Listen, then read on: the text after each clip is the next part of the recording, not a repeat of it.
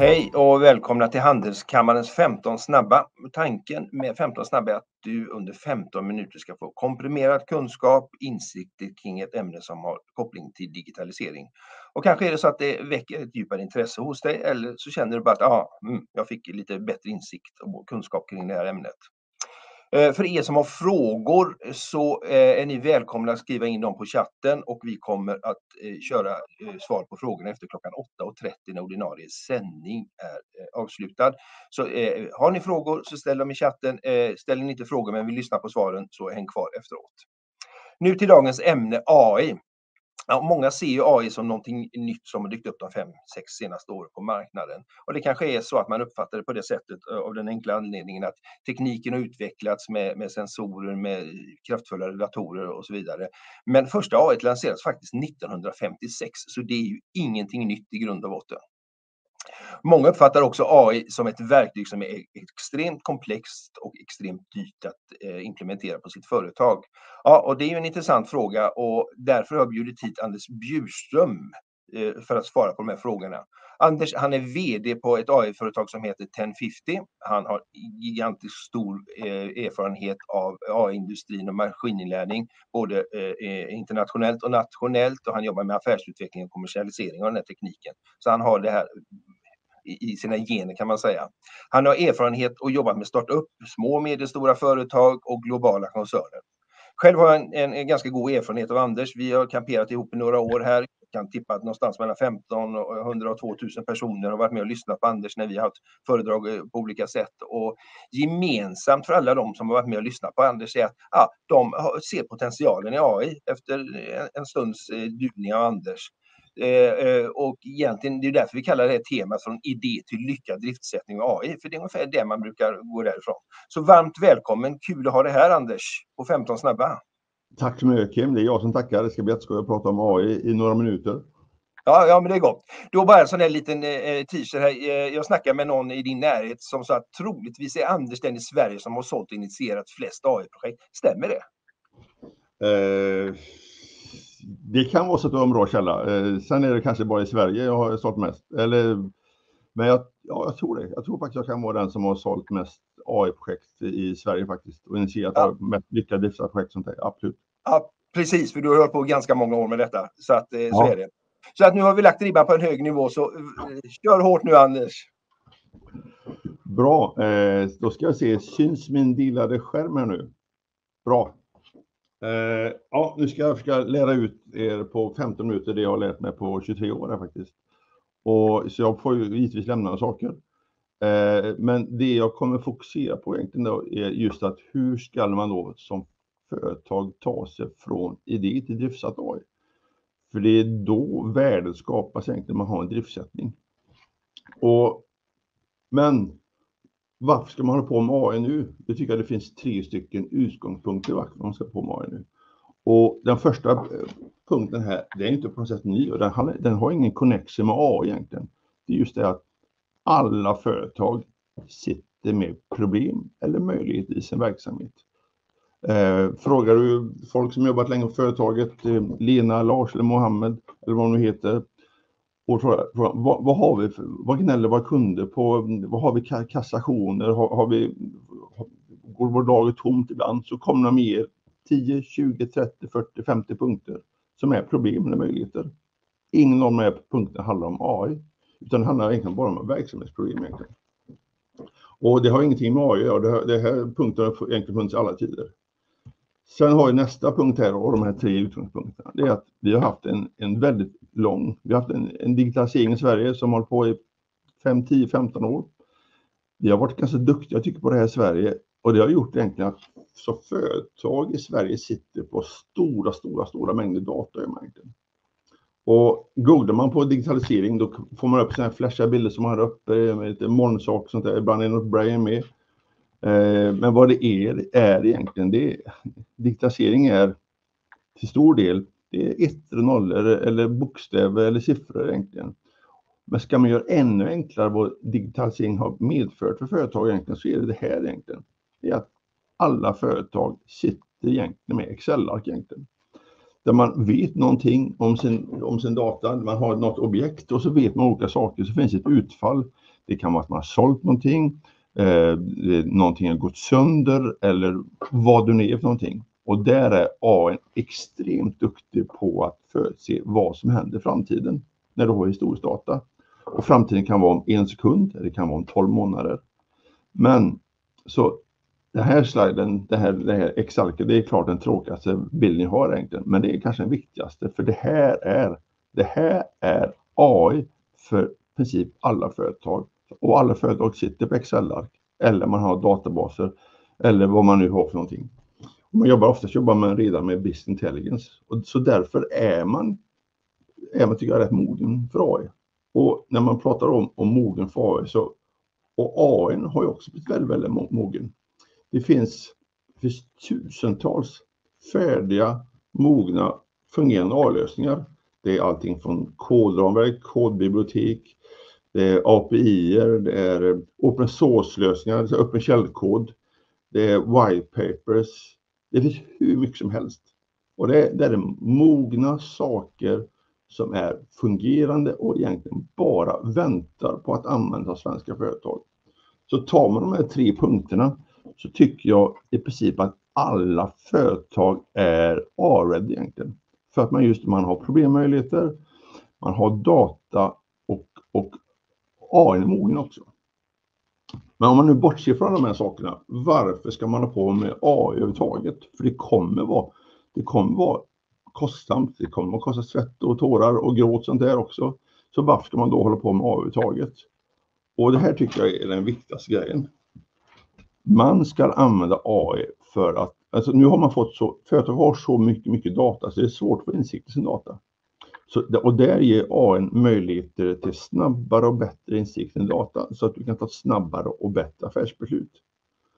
Och AI är ju så bra på att behandla så enorma mängder data så att det som kanske tidigare tog eh, veckor eh, kanske man kan nu göra på sekunder. Så allting går mycket, mycket fortare.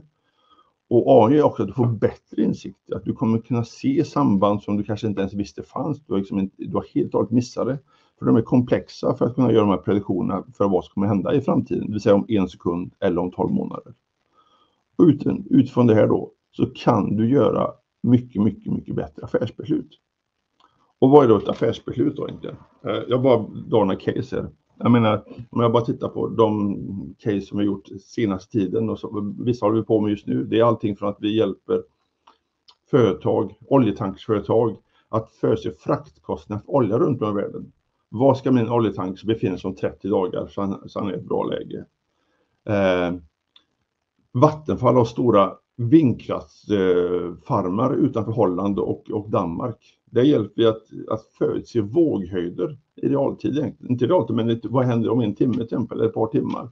Så att man vet var man ska skicka sina servicebåtar någonstans, så, så att inte vågorna är för höga. Vi hjälper stora pappersmassafabriker att förutse pH-rörelser i avloppsvatten, så man kan, liksom, så man kan liksom ha en så man kan jobba med kemikalier på ett optimalt sätt. Eh, vi hjälper Boliden att få ut mer koppar i vissa processer.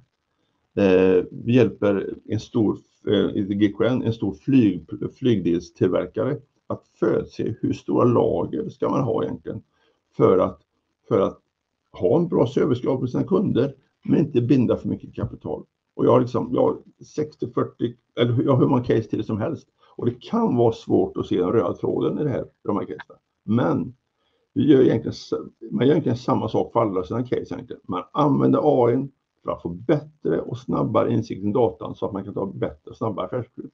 Det är därför man ska satsa pengar på egentligen, för att ta bättre affärsbeslut.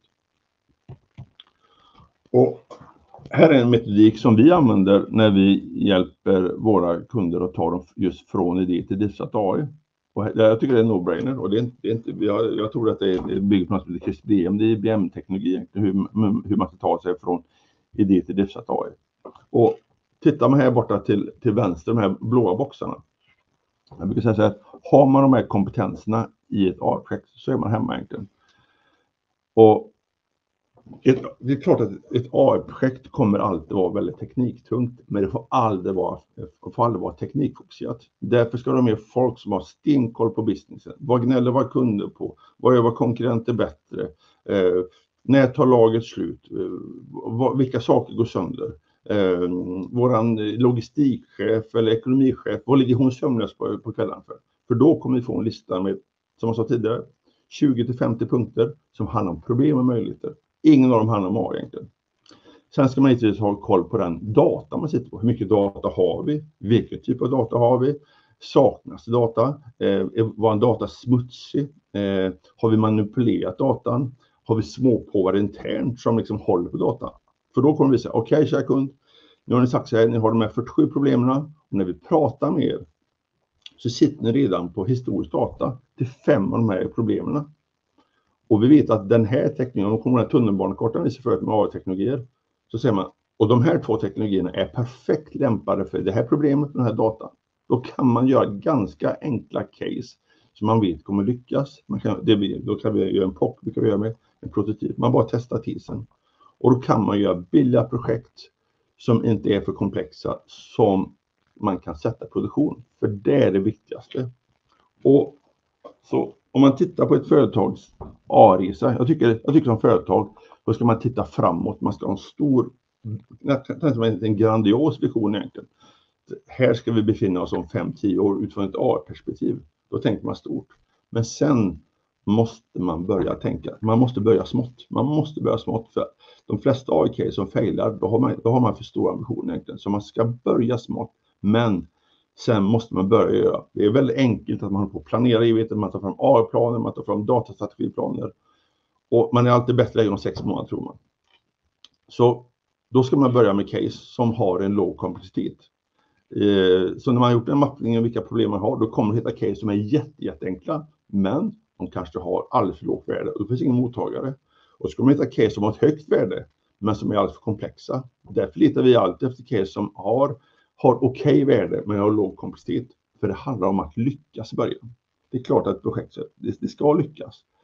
Men det är så mycket mer du lär dig. Du kommer lära dig av din leverantör.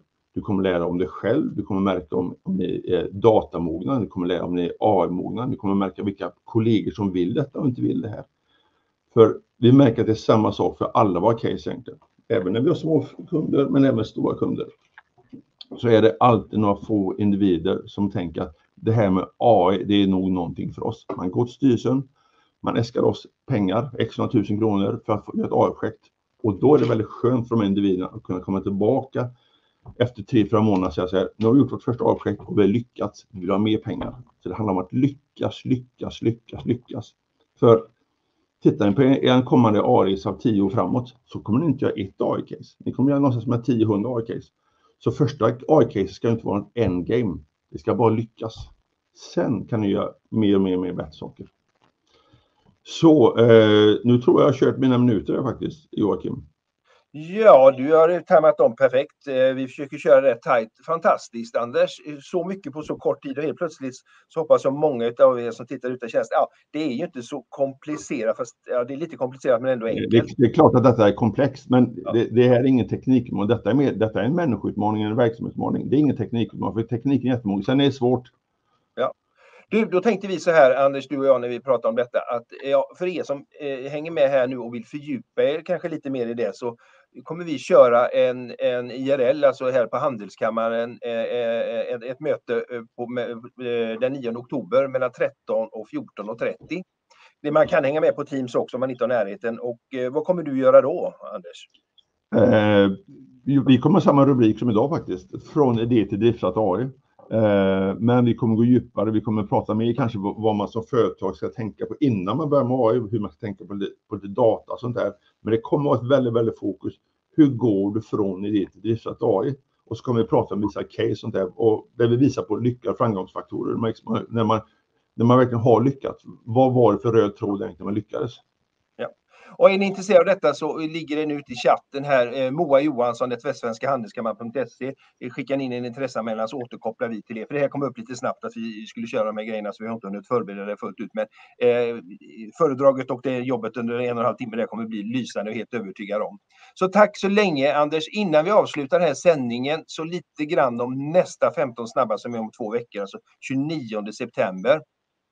Temat är då företagsinformation med Carl Sjöblom som är VD för Icorn. Eh, kommer, kommer ge er tips och råd för effektivt innovationsarbete och det är ju extremt viktigt idag kopplat till den snabba utvecklingen eh, vi har eh, både inom digitalisering men inom många andra områden. Så boka upp eh, om 14 dag, dagar klockan 08.15, alltså samma tid den 29 september. Det ligger en länk också ute i chatten på detta. Då tackar jag er som har haft intresse av att hänga med och jag tackar Anders för ett briljant eh, föredrag och innehållsrikt. Och nu tänker jag att ni eh, som stannar kvar här och eh, eventuellt har haft frågor så ska vi lyfta de här frågorna och resonera vidare kring det här. Ehm, och då Pernilla, kul Pernilla. Här får vi ehm, glada tillrop Anders, det är helt underbart. Ska vi se om vi får några frågor då. Ja, det är eh, mest glada tillrop. Och det, det uppskattar vi faktiskt. Det kan vi gotta oss lite grann du och jag här. Eh, så att, äh, det verkar som du Jag vet, när man brukar göra för en svensk publik så svenskar brukar inte fråga mycket. Svenskar och finnar brukar inte fråga saker och ting. Nej. Jag körde ett metaverse-seminarium igår och det var också lite sådär, man vågar inte ställa frågorna i, i, för man tycker det är komplext fast det inte är det egentligen. Precis. Så att, eh, ja, men det känns som att vi får beröm och här är vi någon som har bokat och sådär. Så att, ja, jag tänker att eh, har vi inga frågor så hoppas jag att det är ett gäng som vill komma och fördjupa sig. Eh, jo, här kommer en från Thomas. Vad kostar ett bra projekt? Ja, just det. Och det är en jättebra fråga. Det. Jag hade önskat att det hade funnits ett bra svar och mitt svar är som kan uppfattas som tyket och det är inte tyket, men det är hur långt ett rep är. Eh, men, men, någonstans så, så, så, måste vi också väldigt, väldigt tät dialog med kunder. Liksom. Vi har ju kunder vars problem är värt, det är värt hur mycket pengar som helst för att lösa. Och då kan man ha en större ambition. Så man måste titta på business case. Det är ju ingen idé att göra ett, ett AI-projekt för en miljon om, om vi gör en besparing på 50 000. Det, så, så, man måste jobba tätt ihop med businessen för att, liksom att för det, det här, ett AI-projekt ska ju påverka sista raden. Så, så är det projekt som bara har en, en, en viss besparingspotential, då får man ju se, då, då, får man ju ta höjd för det. Mm. Men Anders, så, du och jag, vi har, kört, vi har kört ett projekt ihop och det som jag uppskattar hos dig det är att du boxar in det. Det är, de olika stegen har du en preliminär eh, prislapp på när vi ja, går igång ja, och kan förutse ja. det. Så att man kan ju bryta det man vill. Det tycker jag har varit bra när jag jobbat med dig. Ja, men absolut. Och, och det, därför ska så, och, och speciellt när man börjar början. Liksom. Vi, när vi pratar med kunder så säger vi ju nej till case ibland, eller ganska ofta nej till case. Vi märker att det här finns inte förutsättningar. Det du vill göra går faktiskt inte att lösa, eller det du vill göra går inte att lösa med den budgeten som du har. Men jag tycker ändå ska svara på någonting. om jag tittar liksom, ett, ett AI-projekt, ett första AI-projekt brukar kosta någonstans mellan 300 300 400 000 kronor sånt där kanske. Eh, sen har vi case som varit billigare och vi har case som är mycket, mycket, mycket dyrare också. Men då har det berott på att, att värdet för kunden, att eh, ibland säger man så att de, de, är, de är, att bli 10 bättre, de sista 10 är ofta väldigt, väldigt dyra och för vissa kunder är det inte värt att bli 10 bättre och då struntar man i det. Ja, det är uppriktigt och bra. Vad är det för AI-verktyg ni använder? Vi är helt eh, agnostiska faktiskt utifrån eh, AI-verktyg. Eh, I den här tunnelbanekartan som jag visade förut så finns det hur mycket olika verktyg som helst. Och det, det gäller ju att förstå kundens problem egentligen. Förstå kundens problem och förstå den data de har och sen väljer man verktyg. Det är också någonting, många har liksom bestämt sig för vilket verktyg man använder så har man det till allt och det, det funkar liksom inte. Det är ungefär som en snickare. En snickare har 5000 olika verktyg. Eh, och därför, då kan man inte stå och såga av en bräda med kofot. Man måste förstå att det, det, är en, det är en såg man ska ha, vilken typ av såg det är. Och det, då måste man förstå kundens problem och dess data innan, innan man bestämmer egentligen. Om anledningen till, eh, till AI grundar sig att ta vara på data, hur tror du att utvecklingen av datainsamling kommer se ut framöver? Eh, ja, det är bara att titta historiskt. Datainsamlingen bara ökar, ökar, ökar, ökar, ökar. Dels ökar insamlingen och sen så skapas det skapas ju mer data hela tiden. Så, så, men utifrån det, det, själva företaget så tycker jag att man ska bara börja spara data. Man ska börja spara data. Det är så billigt idag att spara data och det är så okrångligt egentligen. Så det är nästan, ibland ger jag till mig råd att spara data som du inte vet behöver ens, för du kommer kanske, kanske behöva den i framtiden det är väldigt... Jag sa förut att AI är moget. Det är inte bara att algoritmen är mogna utan det, det, det byggs upp en hel infrastruktur runt AI också med olika molnlösningar och sånt där liksom, som gör att det blir väldigt, väldigt enkelt. Det har, aldrig, det, har liksom, det har aldrig varit enklare än vad det är idag att göra ett AI-projekt. Och det har aldrig varit enklare att spara data och det har aldrig varit billigare i AI-projekt än idag. Liksom. som, så man har, har det, är, det, är ett bra läge. Men om det ska vara ett personligt råd så spara data, du kommer behöva den. Ja, men sen kan man ju också vara lite smartare och paketera den och sälja den. Så att jag menar, det, det finns ju många anledningar till att spara Absolut. data. Eller? Ja, det, finns, det finns ju databrokers som, som lever på det, att sälja data sånt där. Liksom. Mm. När du stöttat stakeholders som inte alls är med på AI-tåget, vad är argumentet som du haft mest framgång med? För att få poletten att trilla ner? Ja, ja, precis. Och det stöter vi på väldigt ofta. Eh, stötte på det just att folk vill inte. Men, men då, då tycker jag det är ännu viktigare att göra enkla projekt som lyckas. Man kan visa de här personerna att det här har vi lyckats. Har vi gjort.